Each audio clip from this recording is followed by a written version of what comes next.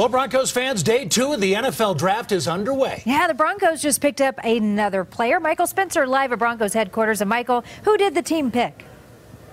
Well, they selected Courtland Sutton, a wide receiver out of SMU with the 40th overall pick. This is their only pick in the second round. John Elway tweeting a couple minutes ago that the Broncos actually had a first round grade on Sutton, so they were elated to get him with the 40th pick. What he brings to the table is a guy who has had 1,000 yards in each of the last two seasons playing at SMU. And when you think of Th Sutton, think of Demaryius Thomas, a similar body type, six foot three, 218 pounds. So again, the Broncos done for the second second round, but still two picks to come in the third round. As for what